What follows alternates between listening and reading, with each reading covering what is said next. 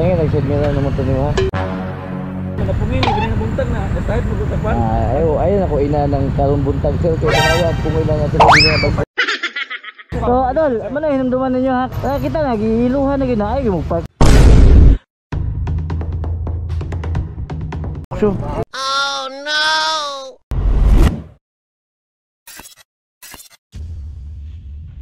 Yun mga kasikop, magandang magandang araw ulit sa inyo.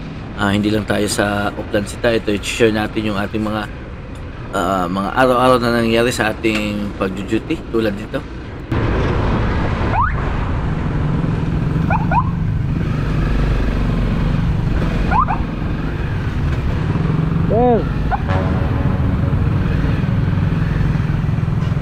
Sir. Putangin, nagsidmira naman ito niyo ha. Pagkong ko, mapalit sa dito sa sa kanang aring aring tugod pagka napungin, ganyan na buntag na. Kahit magkakapan. Ah, ayo, ayun ako ina ng karong buntag sir. Kaya tanawa, pungoy lang natin ang na bag. Paano mapalit sa sanang? Oh, ayun ako ina ng mga bag-ubag, mga bag-upa. Ha? Ano ba sanang palit ko? Palito na ito. Niadto kita, niadto.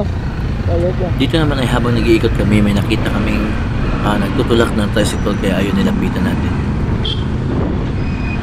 Ano na? Ito? Eh, ito lang ka. Ha? Padapre. Follow up ako. Ah, mo ito ka to? Ang gasolina, station ba? Ah, Ito yung mga madalas nangyayari sa kalsada at kung may pagkakataon tayo na may mga kasalubong o makakita na ganito, sana ay tulungan din natin. hmm. Oo,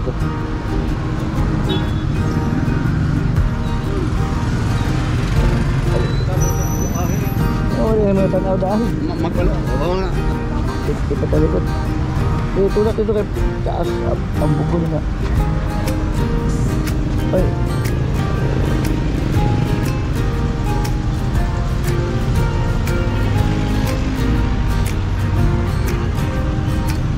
Ay, sabad.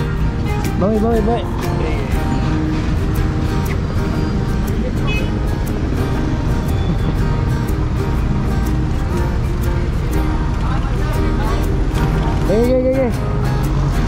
Dito naman sa dakong ito ay nadaanan natin yung mga clamping team ng Paglaran. Ano na basta maapsan, okay lang yan na. Goods na. So, Adol, ano na hinumduman ninyo ha kay nakabantay, gibutangan na ginagilo, 6 meters maganda siya sa Oh. Kaya kita nagihiluhan na gina ay gimugpark diha kay mo na maklampingan mo. O gani kay mga mga butaan na sila bisag na nagsugod na sila eh.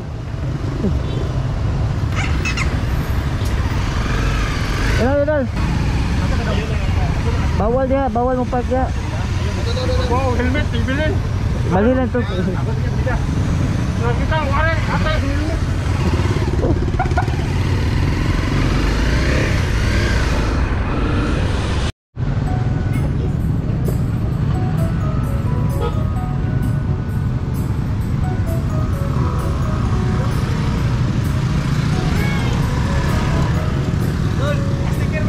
Tikutik dalag jute. Halo.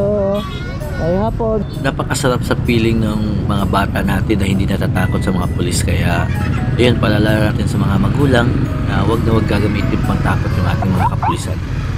Ito namang sumunod ay yung nadaanan natin na nakahandusay na. Yung babae dito na bangga nila yung mga naglalaro mga bata sa kalsada. Ano tusok siya? Kasi galakaw na ka? Break. Ha?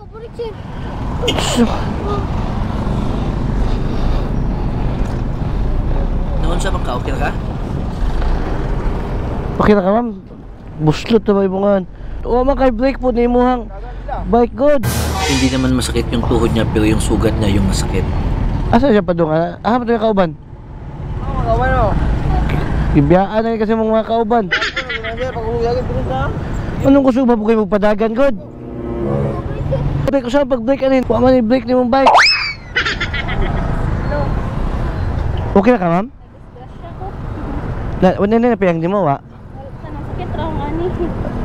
Sa tawag taga ambulansya? Ayaw lang Ikaw? kuan ang bata. Ha? Si okay na. Dili mo mag bike bike lagi diri nga. Kini kay dalan ni mga gani god, di mo gani angay para sa mga bata. Yan, yan ito.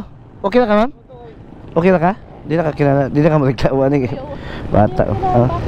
Mo lagi na sa na, buslot tabay mo ano? Gisi. Ah, dahil wala naman silang mga reklamo at okay lang daw silang dalawa, so ayun, ah, hinayaan na lang natin kung ano yung naging desisyon nila. Na i-share lang din natin ito ng mga kasikuno dahil hindi lang palaging offline si tayong ating inaatupag. May mga good deeds din at mga, mga ganitong mga pangyayari na nakakasalubong natin araw-araw sa everyday natin na duty. Maraming salamat po sa panonood. Ingat po kayo palagi sa kalsada. God bless po sa inyo lahat.